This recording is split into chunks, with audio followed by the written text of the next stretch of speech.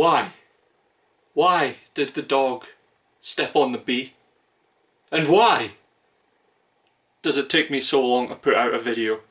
Welcome one and all to my music channel. I am Daryl Smith, in case you couldn't tell by the name of the channel down there. Still doing it. Today we're going to be talking about drummers.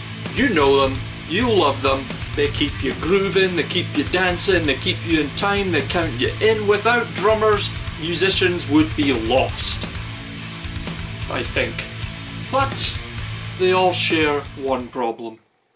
Drummers, you know what I'm talking about. You get a sick groove in your mind, you get the feel for something, and you know what it is. You want to get behind the kit and you want to just lay down a fat groove. So you get on your throne, you pick up your sticks, you set the tempo in your head, and then just as you're away to hit that first cymbal, you're evicted. Get that out of here. We don't need real drums anymore. Hell, we haven't needed them for a long time thanks to Toontrack and their EZDrummer software. I've been using EZDrummer right from the get-go. EZDrummer 1, 2, and now we're on to EZDrummer 3. Three brand spanking new kits, each with their own distinct sound and distinct room vibe.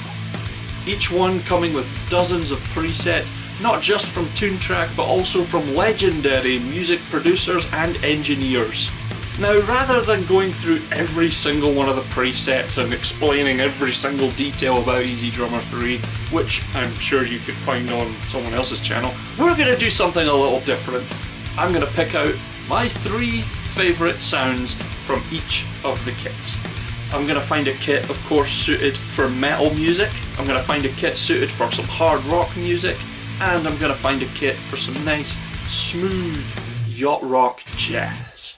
Let me know in the comments down below which one was your favourite. And also don't forget to hit the like button because it helps me in the algorithm. Enjoy!